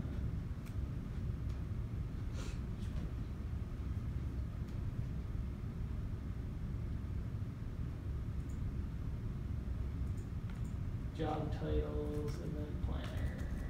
Getting closer. Yeah. Mm-hmm. Getting there. Job titles, event manager, event planning organizer, event organizer, event planner coordinator. So now we're into job Yeah. titles. Now you're getting there. Okay, so we're building our audience. It get, it'll give us the it'll give us the ability to save the audience right here if we like it, if we want to refine it a little bit before we save it. And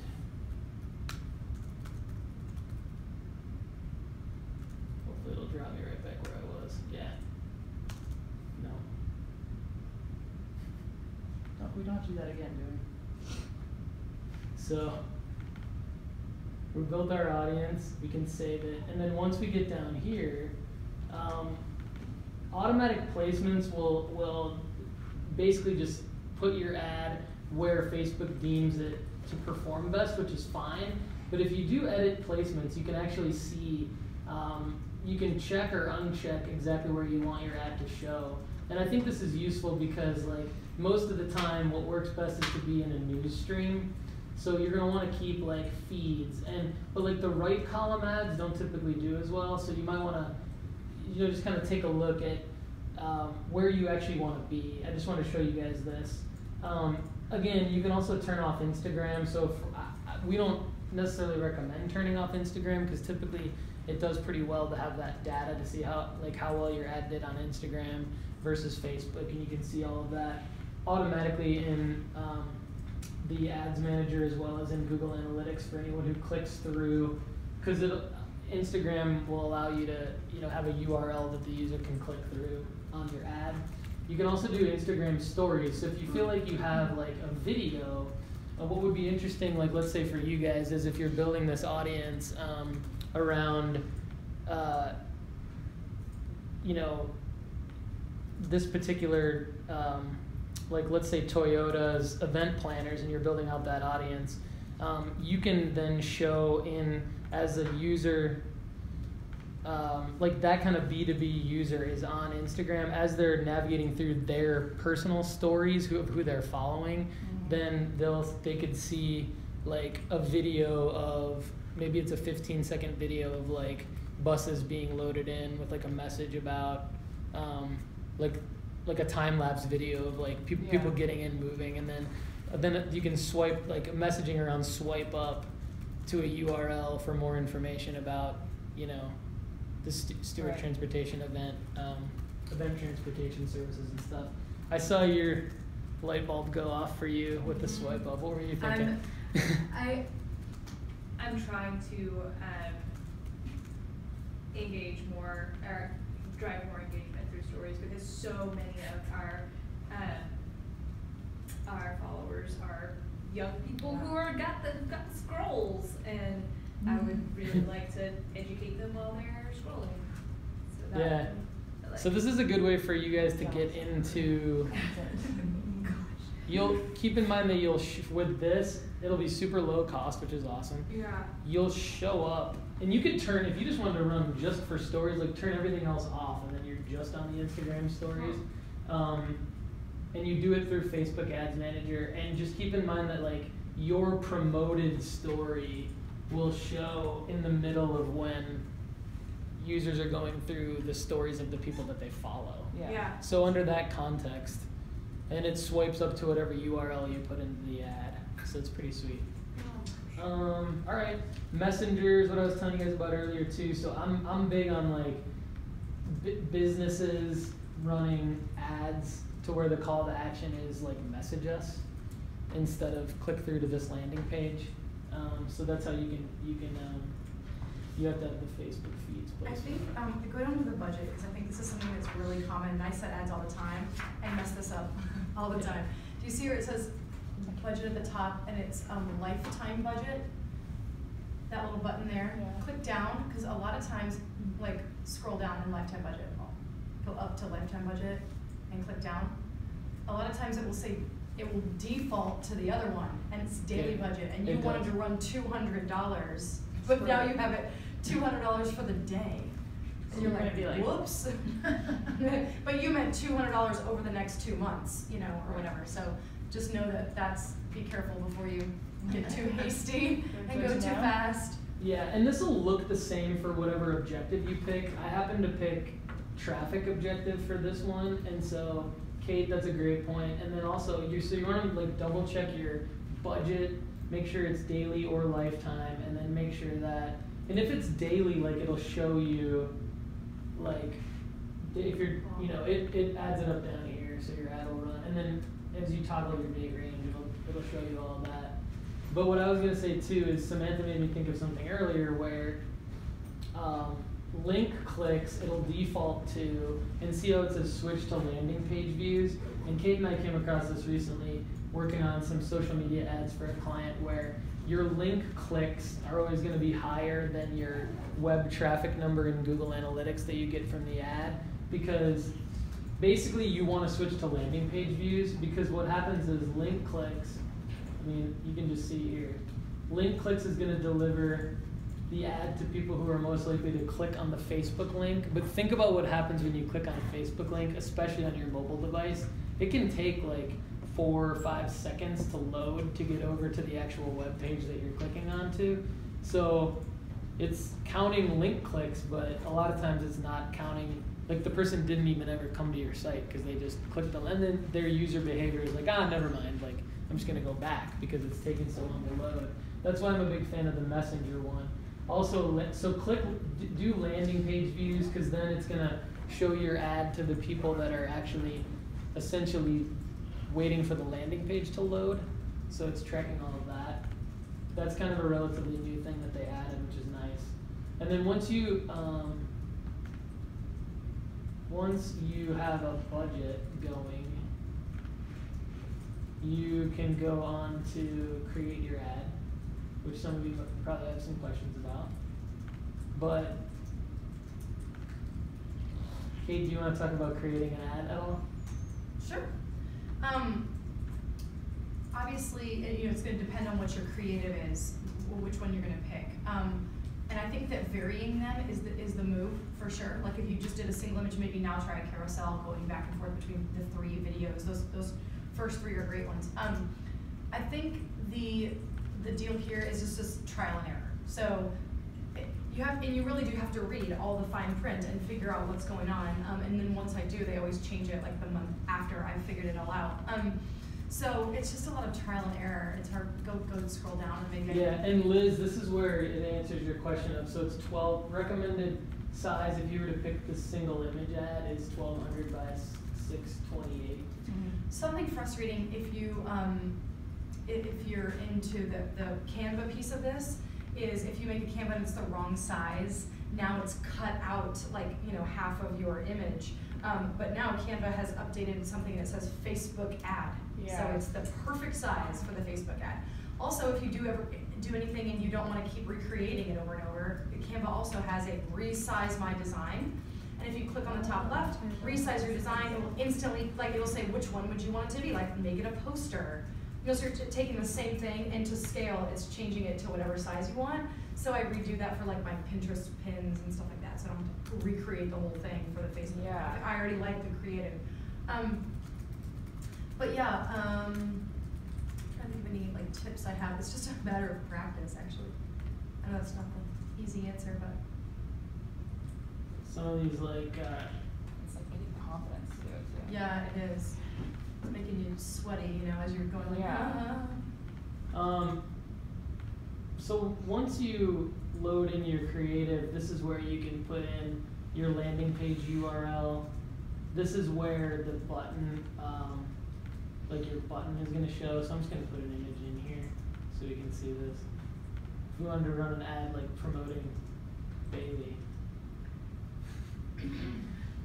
we would have, like, we could do a landing page URL here to Bailey's bio, and then it could be learn more about Bailey. But what I was talking about was, uh, send message. So if this were like a landing page, um, if you're thinking, okay, I want to generate leads through a landing page, consider running two ads and just saying, all right, this this first ad I'm going to do for link clicks, and I'm going to do a call to action that is um, learn more, for example. And my learn more is going to click the user through to the landing page, and on the landing page there's going to be some information in a form. And then the, with the other half of my budget, I'm going to do the same creative, but I'm going to do a um, send message button, and I'm going to be prepared for the user to just send me a message directly through Facebook. And then you can put, um, the good news is like in your text and in your headline, you can put um, quite a bit of quite a bit of information in the text that will show up above the ad, and then the headline and the um, news feed link description are going to be really not that many characters. So if you're going to do like in your ad, I would recommend having like make this text look like what you would put in a post. So I would have like a couple solid sentences, like two to three sentences of like well written copy, and then your your um, headline and your news feed link description are going to be very like li- limited to like 90 characters. This is the best part though, like as, as you do this and like as you're, it's, you know, it, you can see it as you work. I also will, um, make sure that I go back and forth and toggle through, what is this gonna look like on the mobile feed? Right. Um, is it too wordy? Um, I, I'm always a fan of the simple look. Um, so sometimes I won't even fill in the display link, the news link description. I mean, if you do all of that and fill all the forms, it gets really, you know, busy. So sometimes like, okay, does this look better? Does that look better? And kind of back it in and out, and just keep toggling through until you're happy with the way that it looks. Um, and some of you, you know, if you know that you have a bigger Instagram following, then you might want to keep it like super, super simple and forget adding all the links and all the craziness in. Um, And if you're, that's a good point. If you're only like back to where we were on the previous screen, like if you only select selected Instagram newsfeed ad, then like you might want to write like write your copy more for Instagram, or then maybe you're u- like thinking of the Instagram user in mind on that. Um, videos, if you do a video, it will make you do a lot more descriptors. It makes you go into like a lot more, you know, there's going to be a lot more um, fields to populate. So just know that that's it. Add an extra 15 minutes for setting that ad up because it asks a, a slew of questions that you have to deal with. Um, that's why sometimes just boosting the post if you're in a, if you're in a crunch is just the best way to do it instead of creating the, the video. Special, that's the hardest part. is the content. Yeah, yeah, but videos again will give you an extra piece Yeah. that you have to go through that whole. And one thing that we kind of glossed over on the previous screen, so I mean, other than that, it's like just go run your ad, see how well it does. It'll show you like, okay, tracking pixels installed, confirm. Um, don't overthink it at first. Like we know we want it to be good in quality and everything, but like I would get it going, see how well it does. And then one thing just for like a local business, like let's say we're doing more life urgent care, and I know Samantha, I know you do kind of more than more than just them, but just to use them as like a, an example, like you can just do Gallatin, Gallatin, Tennessee, um, and then just a X amount of mile uh, radius around Gallatin. This can be part of an audience that you save. I jumped right into the targeting, but you can do, you know, obviously geolocation is extremely important. So for phase one, like all three phases that I talked about, the, the creation of the ad is going to be the same. Um, the same, it's the screens are going to look the same and everything. Um, but for phase one, uh, I would I would go as broad as possible. Like I would go as broad as you can possibly go. I, I would I would even consider like not even doing any detailed targeting for phase one, unless you're super super niche type of business. Um, And I would try to really like my best advice because this is really what I do every day, like every day. Um, I love my job. I'm just saying, like, the, things that I really wish I would have known is that you have to, it's gonna, no matter, you're gonna spend thirty minutes on it, and then it's not gonna run, because Facebook's gonna kick it out. You go, really? So just, you have to stay patient, you have to try a million things, and it's not easy. So if it takes you thirty minutes, that's how long it takes me, and I do it every day. It should take, it should probably take you forty-five minutes. Um, you have to read through everything, I mean, it's just not easy. And then, once you've set it, it is really fun though to check back in on it. Yeah. And really, you know, making sure that, is everything set right, you know, what should I do, why did this work, and kind of dive into that a little bit. Yeah. Um, but my advice would be, do this at like thirty bucks, five times, in five different ways, with five different objectives. And so you're just kind of like casting that wide net and sort of seeing what landed in the right spots for you. Um, and you know, before you make the two hundred dollar spend, do some good practice on the thirties, um, and get just be really patient with yourself. If you do mess up, if you do lose Wi-Fi or whatever, it will go. It'll take you back to the creative set, um, and you you can just kind of pick back up where you left off. So if for some reason you get a phone call and you're out of it now, it, it will it will kick you back into where you left off, um, right where you were confused and you stopped on purpose because you didn't know what the Yeah, you were doing. yeah, Um, it, it does a pretty good job of, of doing that. Um, that's good advice, and Game of patience for sure. yeah, it's definitely, definitely like the practical advice too that I like there is I, I like the thirty dollars for, for some different different types of ads. Again, keep in mind that these can la- these should last you weeks or months, which is very different than the boosted posts. And like to Michael's question and point earlier on in the in the class, the, the, these types of actions are going to be what grows your audience. So we've all started at zero or one or two, and um, these are very different than they're very different than the boosted posts in that they have more. They the, the creative and the thought process around them should take you 45 minutes, whereas the boosted post can just be like, oh well, that did well, or I really want to try to get this to a bunch of people who don't know who I am but are in this target, and I just want to do it for like the next few days. Boost, click, you're good. Whereas this is more, all right, why am I doing this? Again, what's that objective? What phase am I in? Um, am I do I want to target this type of radius around that business or these types of people, and then uh, and then look at the data over the next several weeks and months. Um, cool. So, anyone else want to talk through or have any questions about Facebook or or in this case also Instagram? I have a question. Is everyone ready to run ads? Uh, which which do you find is more effective? Like if you, if people fill out a form in the ad, or you take them to a landing page? Um, because I haven't taken anyone to a landing page before, um, but one of the girls that I kind of like meet up and talk marketing with, like that's all she does is take them to landing pages, and then I'm like, well, I don't know, I never did that before. I have, that's a great question. Um, and I've been running, I'm, for a client and they're putting a ton of money behind this, trying to get them to the landing page to register for this thing. Um, it is, it, it's not as easy when you have to click out of Facebook. Yeah. People lose the patience and then they don't want, or they, they expected to see something different, like I found out that I was kind of tricking them into getting to the, to the registration page, like win here. Um, and then they realized, oh wait, I have to like fill out these forms aboard. And so I think staying within is definitely the answer. They couldn't for this, for this like specific conference, but I would keep them in. That's my I- short answer. I so read Samantha, you're talking about like this that. one, this lead generation Yeah. with the ad itself. Right. So a then, form on the and ad. then you could pr- like you could have like a little um, button where it's like sign up now. So like I just let them like sign the form for the urgent care for like the weight loss program when they see an ad. I just have them like sign up for a consultation in there, it. and so then you know they don't. I don't take them to a landing page. It was it was it Everybody's wasn't obsessed purpose. with their was just- website. That's what the problem. That's what Yeah. the real. If you really get down to that's the nuts and bolts of they want people to drive traffic to their website. Yeah. But realistically, what you're doing is you're bouncing those folks.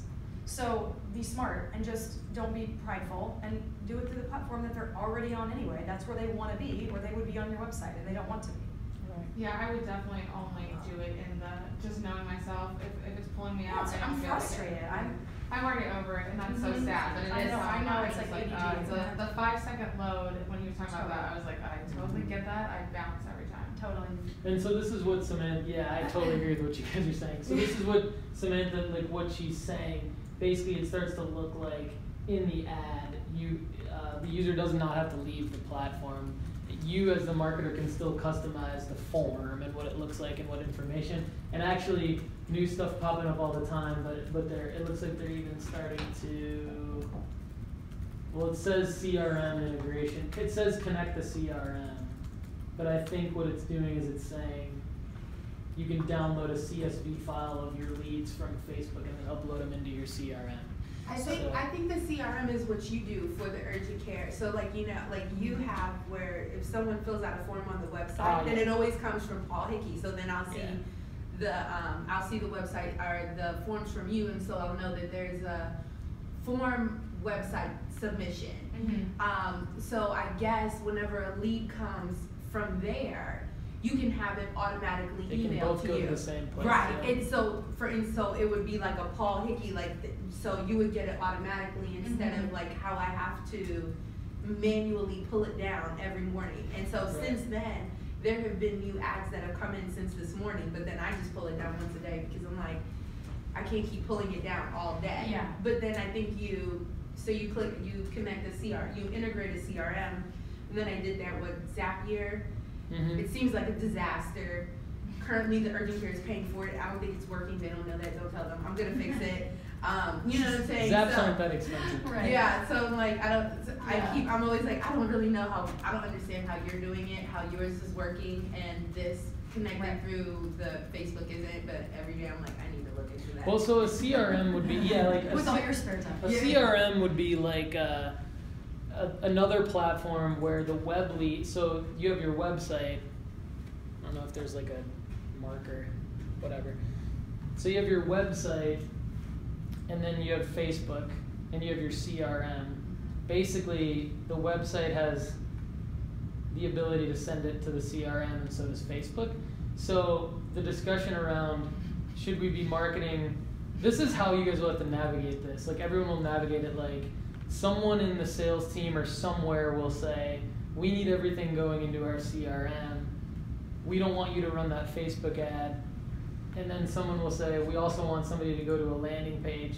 You as a smart marketer can say, "We need to test this. We need to have part of our budget go to the landing page, the other part of our budget go to the message or go to the lead generation ad in Facebook.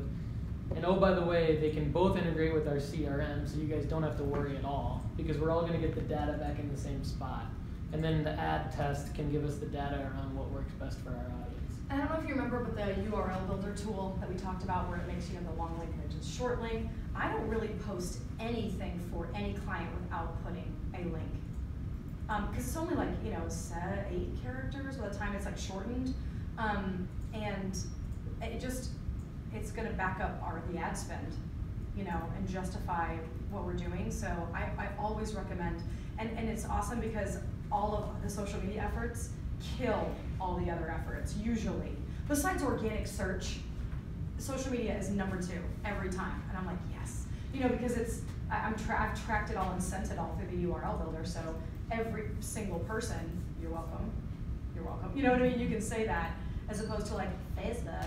People just have a negative taste in their mouth. You know that? Yeah, social media is the way that you're getting that we're getting new eyeballs on it. And organic search is the way, when you drill down into what they're searching for, they're searching for the brand name of the company anyway. So it's not really new Mhm. eyeballs, but. Um, the social is. Yeah. LinkedIn has three different basic types of ads. Sponsored content, which would be like your your boosted post. And then they have a side sidebar text ad. And then they have the in mail. In mail is basically spam. We've all received in mail. Um, the sidebar text ad work like is really good if you like if you need to show somebody numbers. So like if you're in a position where like there's some level of politics involved and you, you need to like justify something, you can run like a sidebar text ad on LinkedIn, get a lot of impressions, a lot of good numbers that you can say, hey, we're running LinkedIn. That's not as what's really effective is the sponsored content, which is where you take the time to do the things like that we've been talking about, last class and today around what kind of content should you be building for your target audience. And you can actually run the LinkedIn sponsored content just like the Facebook ads that we've been talking about today. And then again, it's got you know target an audience, retarget your website visitors, upload a list. So this is like your custom audiences. Um, and then this is like should look kind of familiar based on what we were just looking at. It's just LinkedIn's version. Um, where the so the job titles and company names are super solid in Facebook, but LinkedIn they're like one to one, one hundred percent accurate because that's what LinkedIn is for. So you've got the exact company names in here, the exact, and then the geographic areas if you want them or not, and exact job titles. So you can build your audiences right off of off of the job titles. Amazing B two B ad product. So we hit everything on here, and um, hopefully there was a good amount of information, but also like the key. I think the key points just to take away again. Run find two hundred dollars to run the Facebook page like campaign for your business page, for a business page that you're associated with, um, and target at the audience, like build a, an audience that you know is going to be relevant to something that you're trying to achieve. Um, you know, fans of travel uh, is going to be pretty solid for you to connect with some new people.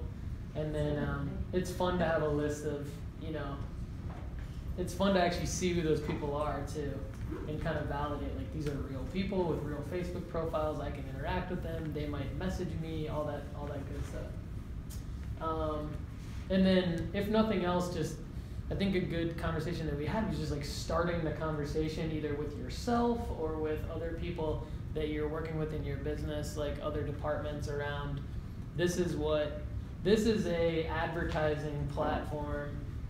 Really it's an ad, it's not really social media. It's an ad, it's a full scale robust advertising platform that can to your point like completely replace tv or trade shows or anything. Like businesses can completely run their entire marketing strategy out of facebook ads manager which is crazy. I mean it's i'm a big fan of it like just because it's, it's low cost you get to see all the uh, you get to test different things for low cost you get to see all the results all the data and compare it against everything else that you're doing. So build a quality digital business with it. And then I love the B2B side too. Um, building brand awareness has like never been easier for anyone who can provide like really good business services too. So um, I didn't really hit on Twitter, I guess. So um, let's see. Does anyone have any questions about Twitter? There's a couple cool things I can show you, and then we'll wrap up because I know is it even relevant anymore? Yeah. Is it relevant anymore? Is that what you said? Yeah. Um, I believe it is. I think. I mean, my, so Twitter didn't innovate for a long time, and then they they're they're they've done a few different things in their app that has made it um, a little bit different. Like one is the 280 characters, and it may seem small, but I think it's got. I've seen it get, a lot more people active on the platform there's also going to be, it's such a powerhouse, it has the numbers that people will always go back. A lot of influencers will always go back to Twitter because they're getting flooded on Instagram. Um, so they're not even de- they're not even able to respond to their DMs, and so they're going back to Twitter just to communicate with people because there's less of a like mess for them to go through. And so I think Twitter will and t- Twitter is just going to be like the news cycle. It's going to be what are what's being talked about that day and that's where Twitter is relevant. So having a conversation around what's relevant that day is going to be, and I think like for a business, Twitter is going to be relevant for customer service stuff.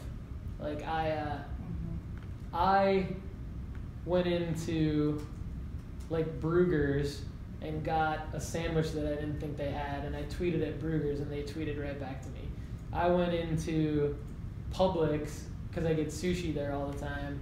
And one day I was like, every time I get sushi, I taste the ginger and the wasabi on every single piece of my sushi, even though there are those separators. And I tweeted at Publix and they tweeted back to me. Like, so Twitter to me is super relevant for that kind of like conversational context around like what's happening and brands smart brands are monitoring Twitter so that they can go right immediately back to their customer and build that relationship. Um, and and from an advertising standpoint, like um, the ability to like put money behind like something that is relevant on a particular day to like followers of a competitive brand. So this is like something one of our clients is a convenience store with like 60 locations. So an example, this is an example when I was thinking through for them, like they could they could be active on like the game is that you're you're active on Twitter so that you know what's going on on Twitter and then when something happens either with your business or in the world, you can promote a tweet and then that tweet is actually relevant and it gets to the top of like the Twitter search and the results and everything and then you see like a big you can drive a lot of traffic to a retail location or something like that. So from an advertiser standpoint, I think um, I don't know maybe even promoting like something in a game like a you know s- some kind of a game uh, ticket sales for an event or for a particular you're in the game in a market if you're in the area something like that. Um, potentially, I don't know. But the targeting capabilities are just as robust for like a promoted tweet. You can hit, like I said, followers of any other handle, um, interests, and everything. So, obviously, I'm recommending my own resources at the end, a little self plug. But we do, um, I mean, but like Facebook, Facebook's blog on Facebook Ads Manager is like obviously the place to go. I mean, that's where I, we all learn from doing it, from trying it, and from like reading about it on in the platform itself. Like, just the best resource for everything we talked about today is to, like to go into Ads Manager and like read all of the question mark pop-ups and like go into all the little help sidebars. And if you have a question, just like search for it right in there. And um, and then we try to put out tips like all the time of stuff we see, just like little tips. So. Um, Cool. Well, thank thanks again, everybody. And like, I think we've got a little bit of time. We'll hang we'll hang around, but